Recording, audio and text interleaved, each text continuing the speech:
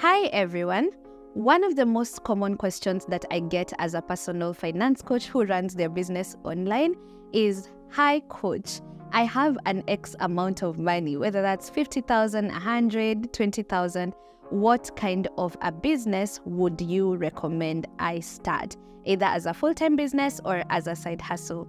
And if I'm to be very honest with you, I really don't enjoy answering that question. I don't necessarily even answer it the as most people would expect that I will answer it because the truth of the matter is that there is no one straightforward answer to that kind of a question. Now, in today's episode, I would like to take a few minutes to guide you on a better way to ask that question because I think that that is the wrong question to ask, especially if you're intentional on generating additional streams of income. I'd like to talk to you about a checklist that you can actually work with so that you can be able to actually be, um, you know, informed on how to identify how to choose and how to actually monetize a business idea or a side hustle that you have had in mind. As per usual, I'm your host, Coach Susan. Welcome back to another episode of Finance Friday.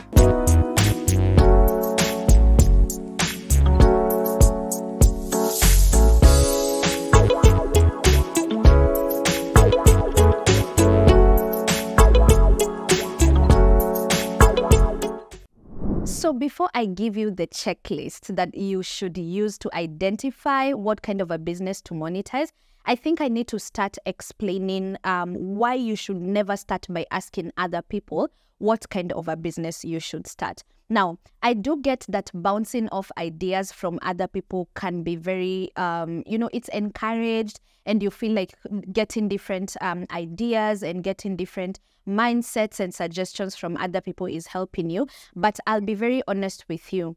Most of the time, it doesn't work very well for you. And I'll tell you why.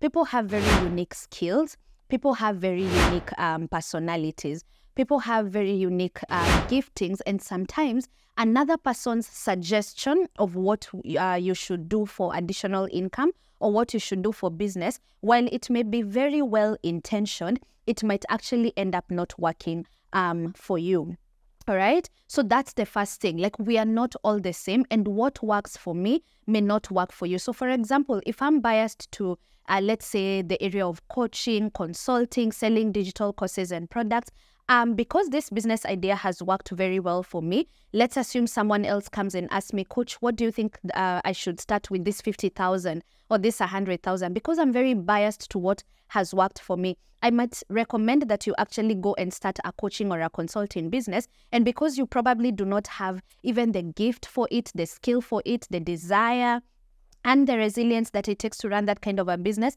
it might not work very well for you. So even as much as you're bouncing off ideas from other people, you need to recognize that human beings are very different and what may work for you may not work for me. I think another thing that we ignore when we are asking other people, so let's say your friend has gotten into importing or maybe they have gotten into um, selling thrift clothes or um, you know maybe even starting a food business you might ask them and they might tell you to actually get into that business but then you've not considered if you guys have the same um, let's say risk appetite because businesses different businesses have risk appetite. You don't know whether that person even has financial backing either from savings from parents from relatives from a loan from some facility that they have had and so we are not all the same. You may not have the same risk appetite. You may not be working with the same number of timeline. You may not even be working with the same number of um, privileges. So it is very, very important to ensure that before you even start asking other people or looking at what people are doing online and automatically deciding, oh, you know, person X is doing this business. So i let me just do it because it's giving people money. That's a very flawed way of thinking. I've always said just because a certain business is giving certain people money does not automatically mean that if you get into the business because apparently it is hot and recommended that it is going to work for you. So now guys that we've gotten that out of the way, I would like to actually give you a checklist of some of the things you should do, a proper checklist and a proper procedure of identifying a side hustle that you can start or a, a business idea that you can actually monetize. So stick around to find out what that checklist is. So If you're ready and you're intentional to start identifying a business or a side hustle idea that you can monetize, whether you have the money ready yet or not, before you sink money into anything, you need to do these four things. Number one, you need to start with a journey or an activity of self awareness and introspection. Now, this is one of the reasons why I do not necessarily like to answer this question on the go. And this is because we live in an interesting generation. And guys, this might sound like I'm coming for some of us, but really I'm not. I'm just kind of like challenging you to start thinking differently. We, we live in an interesting generation, guys, right? Where we prioritize um, entertainment over education, right? We also live in a very interesting generation where we pretty much, and I'm gonna just say it um, straight, we pretty much know everything about everyone else, but we don't know stuff about ourselves. So we know who's dating who, we know who bought which new car, we know even who's in whose bed. I mean, things that we're not even supposed to know, right? We know all of these things. But let me tell you, if you want to put or rather to put someone in an interesting fix or just push them in a corner ask them where do you see yourself in the next 5 to 10 years? Now that's the most difficult question anyone has to answer. When you ask someone what are your skills your your expertise? What are you good at? What are you trained in? Most of us start fumbling with that um, idea. Um, we we all of a sudden don't know um, and, and one of the things I always recommend, if you want to start that journey to self awareness, the first thing that you actually want to pay attention to is to conducting a SWOT analysis. Now, what is a SWOT analysis? A SWOT, or rather, rather a personal SWOT analysis, is a, a, a very short activity you can even do on your notebook or on your journal where you find out this is an acronym that stands for strengths, weaknesses, opportunities, and threats that's where I would start. If I want to start, I mean, I'm not just starting a business as a hobby. I want this business to start, uh, you know, creating additional income for me. I want it to be so sustainable that it could probably even replace my, uh, let's say, my eight to five, right? So this is something I'm taking seriously. So I must understand what are my strengths. Strengths are your skills, whether you learned them in school or you've learned them from experience, okay? Uh, strengths are also your gifts, your talents, things that you're a natural at. Identify what those things are. Then let's talk about your weaknesses. Okay, things that you're poor at. Maybe you're not very good with numbers. Maybe you're not very good with finances. Maybe you're you're very shy and you don't know how to speak in front of people. Maybe you struggle with confidence. Maybe you don't even know how to sell. Like you can't convince anyone to buy anything. Identify what those things are. Opportunities.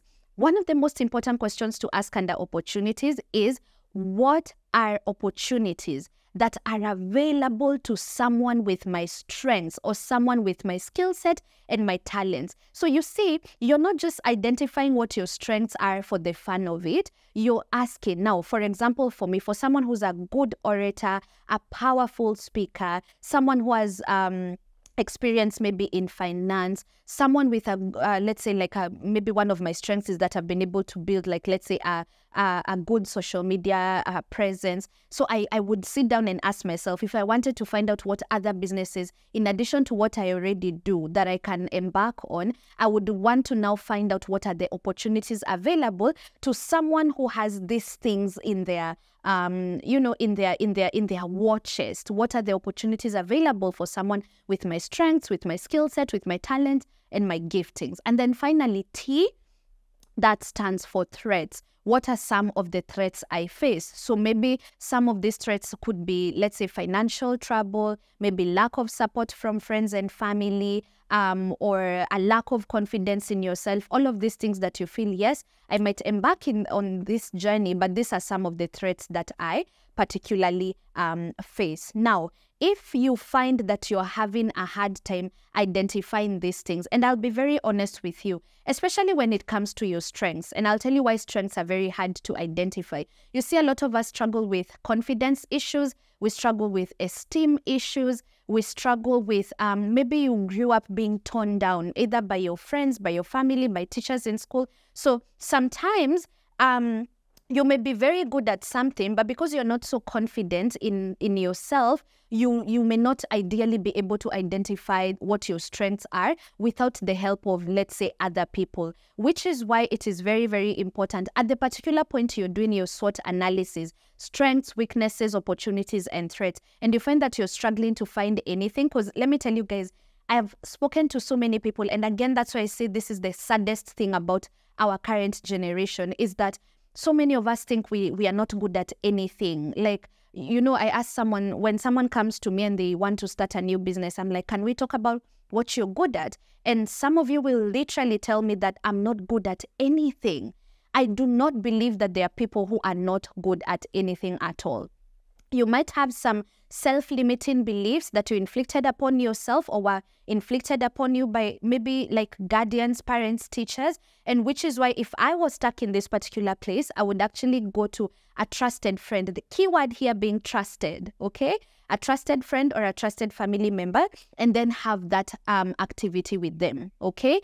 Ask them, by the way, what do you think I'm good at? What do you think I do so well? Um, what do you think I, you know, I'm I'm doing very good at? All right. So that is one of the things that I would say is very, very important. So your SWOT analysis and going through a process of self introspection is one of the most important things to figure out. Again, this is before you choose any business or side hustle idea. This is before you sink your money into anything. Figure out if this thing is in alignment with your strengths, um, if you're aware of your weaknesses and all of that. Just as a um, something that I need to say real quick here is that you're identifying your strengths so that you can be able to maximize on them.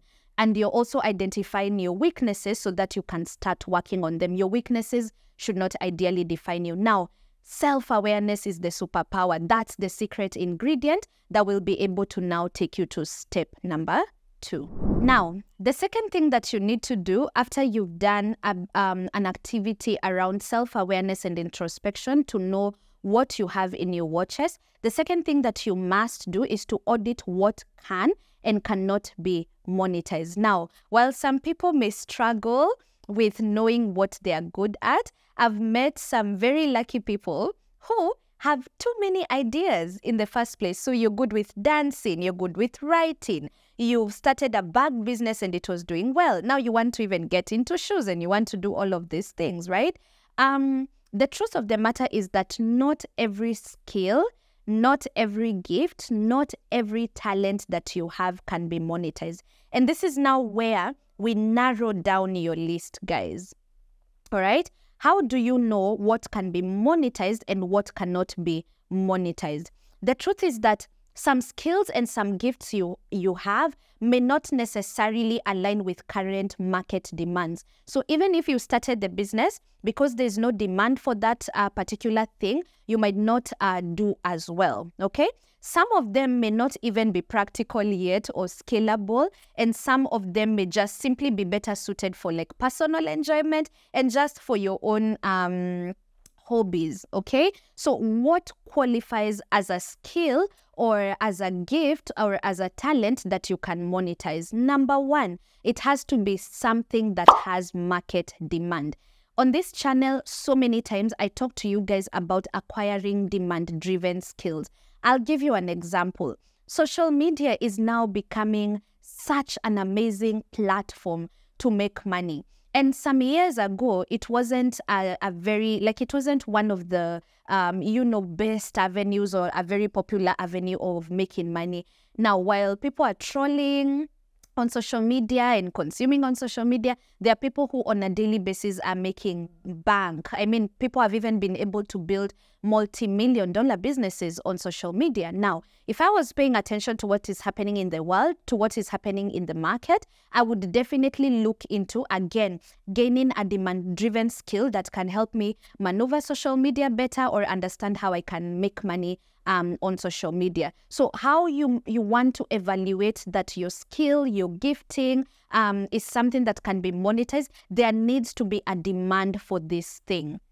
Are we together, guys? And then now, if the talent or the savvy, or rather, if the talent or the skill that you have cannot be broken down into either a service or a product, guys, I'll be very honest with you. It's probably something that you need to live in that pool of talents. We said there are some gifts, there are some talents, there are some skills that you're good at that we are going to live in the fun. Uh, we have two baskets. We have, um, we can monetize this basket, and we have, uh, this is just a hobby basket. So if you try look at these things, seven different ways from Sunday, okay? And you realize that i can't i can't necessarily pinpoint what kind of a product i would turn this into or what kind of a service i can turn this into. That might be one of the signs or and symptoms that that particular talent or gift or skill cannot necessarily be monetized. So if you want a checklist okay once you've been able to do your SWOT analysis, you might want to now separate what can and cannot be monetized.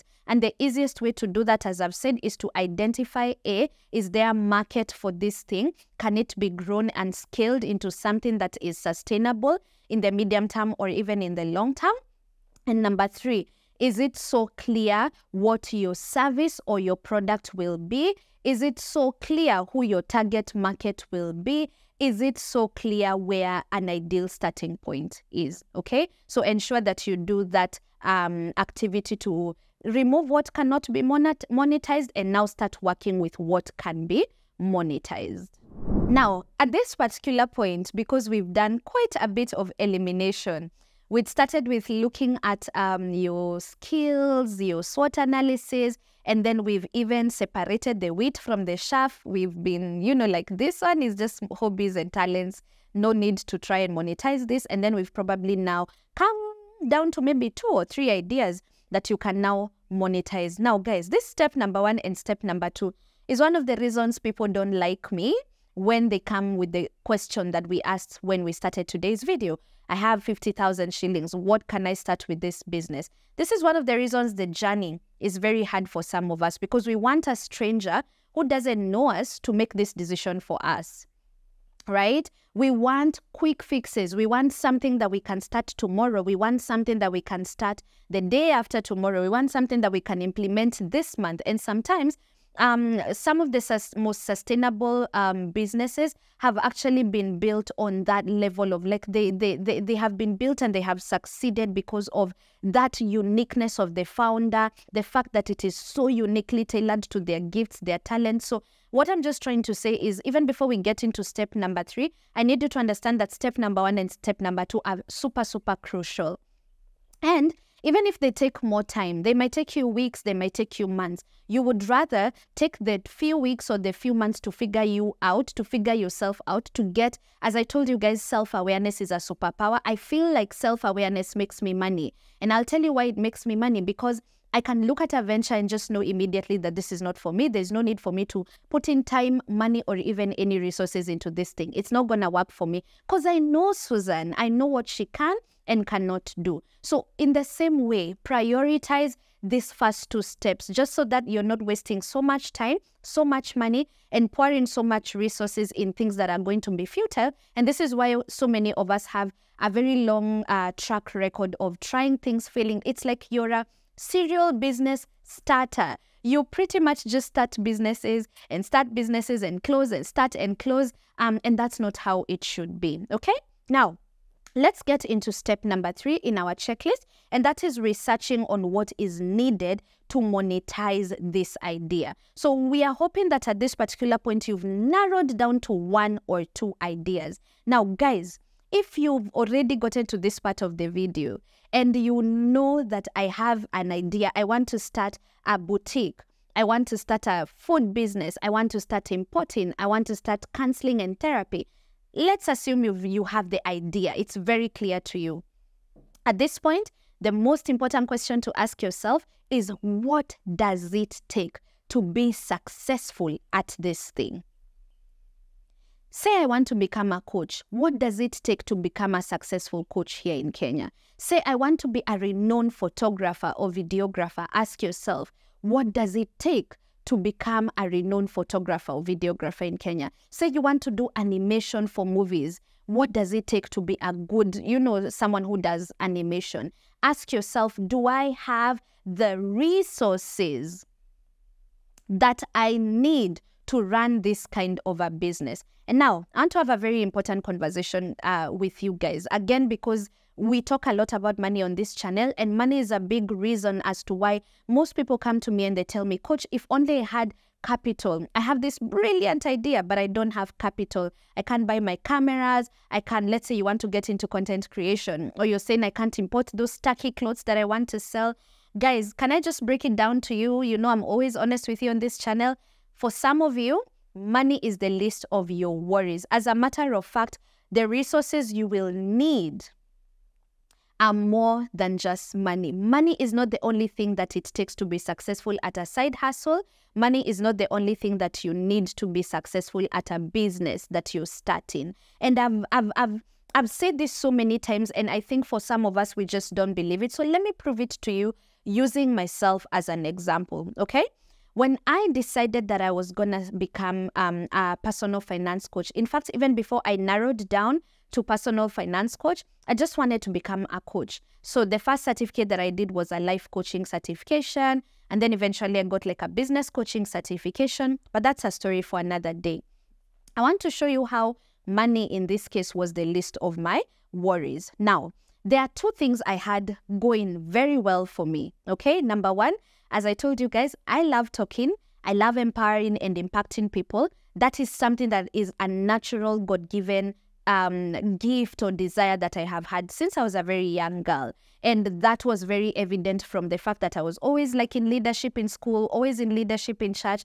I've, i was always the girl in the friends group who anyone can, can come with, with um, you know, their own personal issues. And people would say, gosh, after speaking to you, I felt so good. You gave me direction, whatnot. That was just like on a friendship low level um, kind of like place, right? So I had my personality and my confidence going for me. The other thing I had going for me was the fact that um, I did a bachelor um, in finance and economics and worked in an investment company. I was doing an investments analysis um, certification. So there was that working for me. Now, had I just taken the fact that I can talk, um, with people and the fact that I have, um, uh, let's say, finance knowledge and say, oh, I have enough to start the business, I don't think I'd have been able to get this far. Now, if I had all of these things working for me, but I didn't have things that were so, so important. So, number one, I, if I wanted to get into coaching, one of the things that was very clear that I needed was a coaching certification. Let me tell you, kupayuka tu na kuweza is not, it's not how you become a coach. People have different personalities, people learn differently. So I needed to get a coaching certification that would give me the basic tools of how to coach introverts extroverts, how to work with people who are self driven, how to work with people who need extra pushing and you know extra motivation so i got a, um, a coaching certification for that now Something else I realized very quickly that I needed to get is the ability to sell. Guys, listen and listen to me very well. I meet so many business people that, or, rather, so many people who want to get into business that do not want to sell. Guys? How is it that you want to start a business? You want to sell bags, you want to sell shoes, you want to sell your services, but you are afraid of talking about your product. So you don't want to post on your WhatsApp status, you don't want to post your shoes, you don't want to post your cakes, you don't want to post your samosas, you don't want to post your meal prep services on social media or even talk about it. In fact, there was a client I talked to the other day who was telling me that they're so afraid of selling because they think people will think that if they're overselling, maybe they are broke. And I'm like, do I need to remind you guys? What do I keep saying? That people's opinions do not pay your bills. But let's go back. So I had to actually learn how to sell. You cannot sell if you don't sell. You can be in business if you're not a salesperson. And never ever. In fact, one of the other ingredients that you need in selling is shamelessness if you guys are, um, you know, you've subscribed to some of these things like Jumia or um, Glovo, these people are pretty much spamming us. I probably get like seven Glovo notifications every day. This offer, 10% on Uber Eats, the other one, the other one. Like if big companies are spamming us with their products and services, Sembuse Mimi as a small business owner, right? So I had to learn the art of storytelling, the art of curating and convincing uh, people to buy my coaching products and my coaching services. I had to learn the power of personal branding. Before, I never used to think that my social media platform is important. I never used to think that um, my image is important. I never used to think that what I'm posting on social media is important, but I needed to learn the power of personal branding because now, because I was able to get some classes on the University of YouTube and sign up for some courses, I understood the power of personal branding. And now, the Legacy Hub Kenya as a company makes me money, but also Susan Wanjiku as a brand makes me money. Why? Because when I did personal branding, I started getting speaking engagements, training gigs with companies, showing up in panel discussions and get paid for it, right? I had to also um, learn how to do basic accounting and bookkeeping for the business. I had to learn how to strategize and plan for the business. I literally had to learn the power of storytelling and how that can help me in my in marketing my skills, marketing my um, services, and marketing my products. Now, had you given me money, right? And told me, Susan, go start a coaching business, and I didn't have all of these skills that I've mentioned, I don't think that my business would have been as successful as it is today. I don't think I would have gotten the reach that I have gotten. So, for some of you, you're looking at um, this business idea and you think that all you need is money. Uh uh No, you need to ask yourself do I have the resources? Do I have the soft skills? Have I upskilled? Have I gotten all the necessary resources to ensure that once I now decide to put my time, my money, and my energy in this business, I am also equipped and empowered with other skills like, as I mentioned, accounting, sales, money management, being able to use social media, all of these things am I empowered or equipped with these resources because they will also support. If you just have money, all you will do is that you'll keep sinking um, money in businesses or inside hustles that you're not even empowered to maintain for the long term.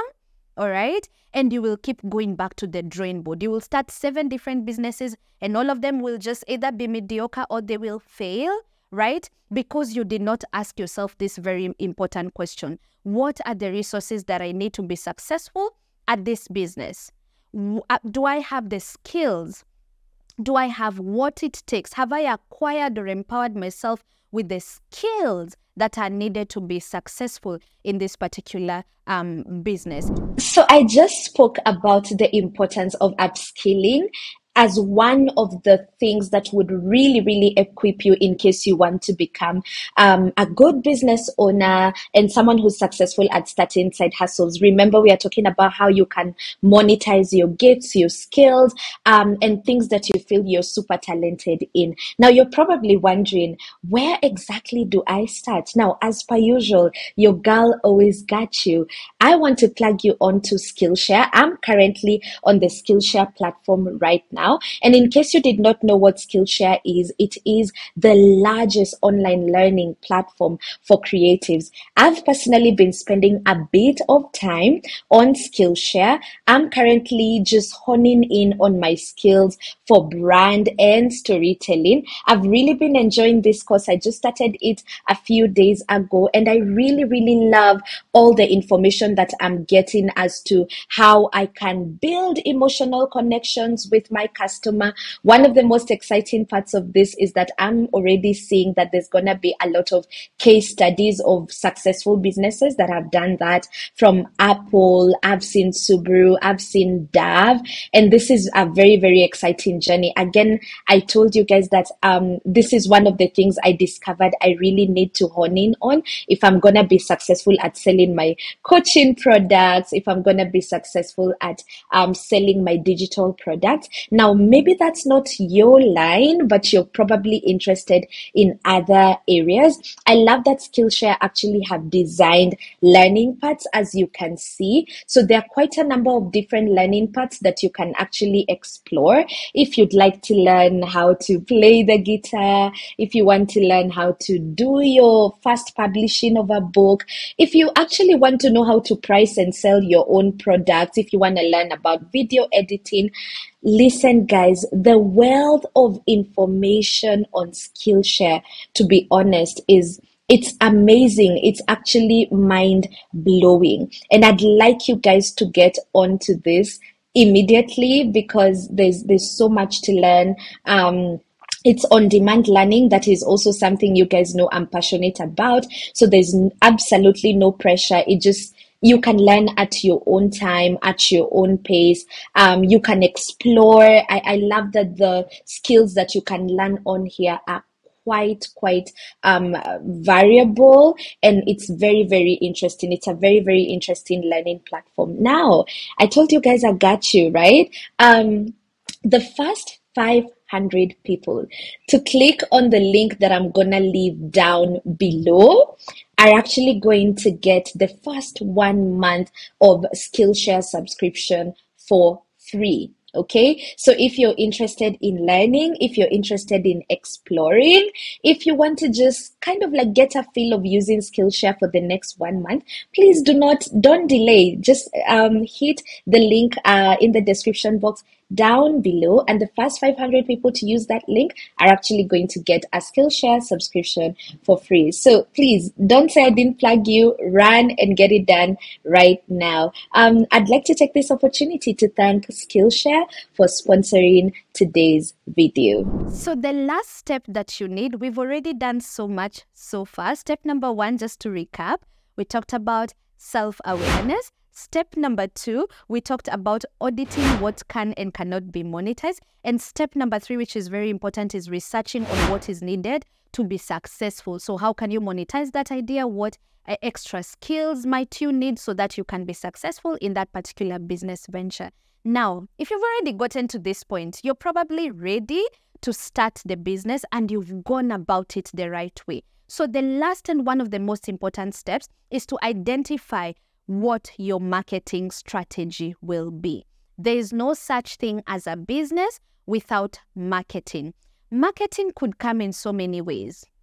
Referrals, for example. Like when I started my business, um, one of before I, you know, became like um, before I started like doing things on YouTube and on Instagram, most of the clients that would work with me were referrals. So a lady came to my class, she was impressed, she brought her sister, and then the sister brought her friend, and so on and so forth. However, if you want to scale, word of mouth is not enough. So you might want to start thinking, do I want, uh, let's say, for example, to build a website for my business so that, and guys, websites are so, so important. Maybe we can talk about that in another video because I've met companies uh, or people who wanted to hire me in companies that didn't take me seriously because I didn't even have a website. So my company did not look very professional. It didn't look legit to other people. Um, so you want to think about whether is it important to build like a website for the business? Is it important to build an e-commerce platform for the business? Is it important to um, be on social media uh, for the purpose of that business? Um, if you're going to start, let's say, a shop, what is the location? Are you going to be in town? Are you going to be in Roysambu? Are you going to be in whichever area? You need to decide what your marketing strategy uh, will be. Why are we marketing? Because people will not know that you do what you do or that you offer this amazing product or service that you do if you don't let them know. Okay, so we said you, you remember selling is non-negotiable. So your marketing strategy or your advertising strategy is probably going to go hand in hand you with you understanding and learning how to package yourself, how to package your products and services, and how to sell them. And selling is not just telling someone, oh, this is a glass, buy it. It's all about like um, knowing how you can curate a story or curate an adver- advertising copy or take very good photos. I mean, I always encourage product based businesses. Please work with a photographer. Ensure, you see, if I take photos with my phone for, let's say, some handbags I'm doing, they might look basic, they might not look very enticing. But if you get a product photographer to help you, there's props and it looks nice. It looks like it looks clean and crisp and it looks attractive, especially if you're going to be selling on social media. Social media is vanity metrics are important. People want to see shiny objects that look nice. So you might want to invest in that. All of these things really um, is to really, really say that you can't just start a business and be quiet about it. So you need to really, really talk about it. So, one of the easiest and the fastest way to promote your business, guys, and this is like almost free, other than the fact that you will need a good phone and bundles, is to actually use social media. Social media is free, it is accessible. We are already spending uh, six hours on there for tea and to find out who's sleeping with who and who's dating who and who broke up with who and all of that stuff. So, guys, if you are not um, if, if you're just consuming on social media social media and you're not producing you're not making any money i read somewhere that you are the product. You are the one you're the one we are actually selling. So please make sure that if you want to actually um get into any type of side hustling and get into any type of business social media and having a powerful or a strong personal brand or a strong business brand is one of the assets that you need to have working out for you. Now, I'm going to stop there, but if you want to find out how you can use social media to make money, I need you to pause right now and please hit that subscribe button turn on the notification bell so that you can be notified when I upload next week's video because next week I want to take some time and break it down for you exactly the strategy that I used uh, to start making money on social media and to start using my Instagram platform, my TikTok platform, and my YouTube platform to start making money. Please let me know if this video was helpful and insightful for you. In case you have any questions, you know what to do. And also remember to share this video with your friends so that they can also learn this checklist that we've learned today of how you can actually step by step make a very informed decision on what kind of a side hustle or what kind of a business idea you can monetize. Thank you so much for watching. And again, I'd like to take this opportunity to thank Skillshare for sponsoring today's video. I'll see you on the next episode of Finance Friday.